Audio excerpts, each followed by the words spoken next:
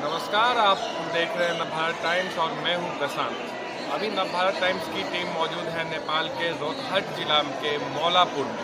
मौलापुर नगर पालिका का क्षेत्र है और यहाँ पर अभी हम जिस मंदिर में हैं, वहाँ भी शिवरात्रि को लेकर काफ़ी धूम मचाया जा रहा है। ये जो शिव मंदिर है, इस शिव मंदिर के नाम से ही बहुत चीज़ें स्पष्ट हो जाती है। इसका नाम है पुरातात्विक शिव मंदिर और ये मौलापुर में स्थित है।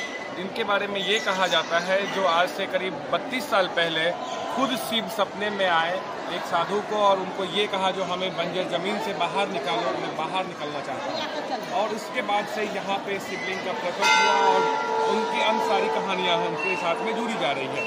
हालाँकि साथ में इनमें हड़प्पा संस्कृति का जो सभ्यता की जो की जो कुछ निशानियाँ हैं, वो भी पुरातत्व विभाग के द्वारा, खुदाई के दौरान निकला था और वो भी अभी मौजूद है। आप तस्वीरों में देख रहे हैं किस तरीके से जो उस जमाने में हड़प्पा संस्कृति की जो सभ्यता की जो जो जानकारी है, वो उस जमाने की अभी भी मौजूद है जिस पर पुरातत्व विभाग लगातार काम कर रहा है। शिवलिंग के अभी जो अनुमान है, वो उसी जमाने का बताया जा सकता है, जो इस तरीके की शिवलिंग है। हमारे साथ में यहाँ पे कुछ हथनी हैं और उनसे भी हम जानते हैं, जो आज महाशिवरात्रि में इस मंदिर का क्या सब क्या है इन मंदिरों का क्या मतलब मौजूदा वैकल्पिक स्थिति है?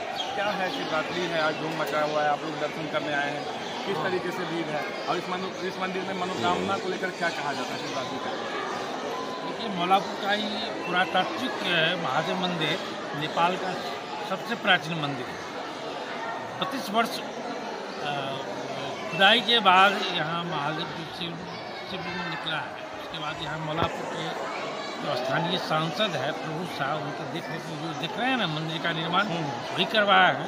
और यहाँ मधानी महोत्सव पाँच वर्षों से होता है।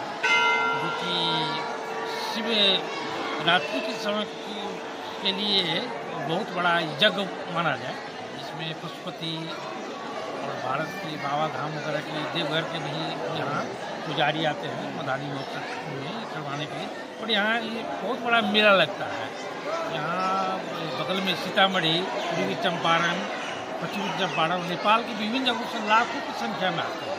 सांस्कृतिक कार्यक्रम होता है, कुछ ना कुछ कलाकार आते हैं। बारहवीं गोविंदा जी बम्बई से क्या ये मघानी महोत्सव जो हो रहा है तो इसमें नेपाल सरकार के द्वारा ये महोत्सव करवाया जाता है या यहाँ के स्थानीय लोगों के द्वारा ये महोत्सव करवाया जाता है? यहाँ की मौलापुर नगर पालिका की ही देन है कि आर्थिक रूप से वही सहयोग कर रही है। बाकी यहाँ के स्थानीय लोग भी कुछ करते हैं।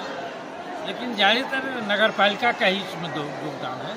तो यहाँ पे जब खुदाई के दौरान जब यहाँ खुदाई के दौरान जब ये सभ्यता वाली जो चीज़ें निकली मंजूदारों के से इसको जोड़कर देखा जा रहा है पुरातत्व विभाग हालाँकि इस मामले को लेकर अभी तक कुछ अपना बयान नहीं जारी किया है, लेकिन आप यहाँ पे स्थानीय हैं ये मतलब कैसे ये निकला बाहर कैसे आ पाया? ये सब जो चीज़ें हैं इसकी दीवारें जब खुदाई हुई ना तो मंदिर का वो शिवलिंग निकले। उसके बाद जब उसको साफ़ करने को हुआ ना तो फिर देखा कि ईट वगैरह है।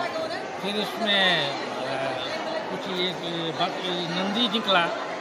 इस तरह से और है कई तरह के यहाँ जो है ना देवी देवता का जो उसके बाद स्नानागार जो होता है सिंधु सप्ताह में। लोग यहाँ के पुरातत्व विभाग के लोग वही बता रहे हैं कि इस तरह का अवशिष्ट है स्नानागार है, कि कभी यह एक विकसित सभ्यता है, नगर सभ्यता के तौर पर, जिस तरह से सिंधु घाटी की सभ्यता माना जाए हड़प्पा संस्कृति, इससे लोग देख रहे हैं। हालाँकि इसका अभी तक कोई आधिकारिक, प्रमाणिक तौर पर कोई विभाग नहीं दिया इसको भारतीय दूतावास के माध्यम से भी दिया गया है कि भारतीय पुरातत्व टीम इसको अध्ययन करें, यहाँ आवे। निकट भविष्य में आने की संभावना है। फ़िलहाल उत्खनन जारी है और तरह तरह के यहाँ जो सामान यहाँ मिल रहा है। हालाँकि अभी मंदिर में काफ़ी धूम होने के कारण हम वो शिवलिंग का दृश्य तो नहीं दिखा सकते हैं। लेकिन जो पुरातत्व विभाग के द्वारा जब यहाँ पे खुदाई किया गया था और उसमें जो चीज़ें बाहर निकल कर आई थी, इसके लिए भारतीय जो वैज्ञानिक हैं, भारत के जो पुरातत्व विभाग के अधिकारी हैं, उनको भी बताया गया है, जो उनको भी आने का आग्रह किया गया है, जो आकर इसको देखें, जो यहाँ पे शिव निकले हैं मतलब नंदी का, नंदी भी यहाँ पे प्रकट किया गया है, कई और देवी देवताओं की मूर्ति भी, प्रतिमाएँ भी निकली है, और साथ ही साथ उस ज़माने में जो स्नान घर होता था, पूजा घर होता था, उन सारी चीज़ों की से जुड़ी हुई चीज़ें अंदर से निकलती जा रही है खुदाई के दौरान। हालाँकि अभी तक इस मामले को लेकर पुरातत्व विभाग के द्वारा किसी भी प्रकार की बातें क्लियर नहीं की गई है, जो आखिर ये सब चीज़ें कब की है और कब की नहीं है। नेपाल के रोहतक से प्रशांत झा।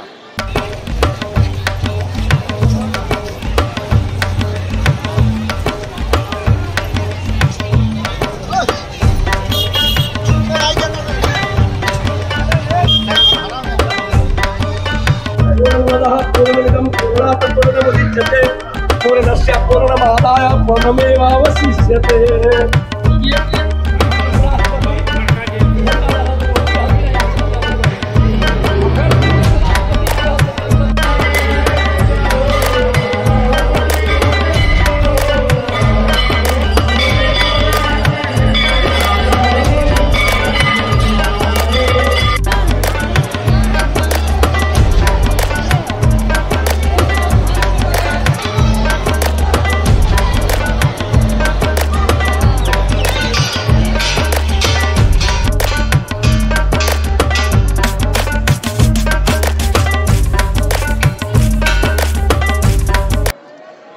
देखिएगा एक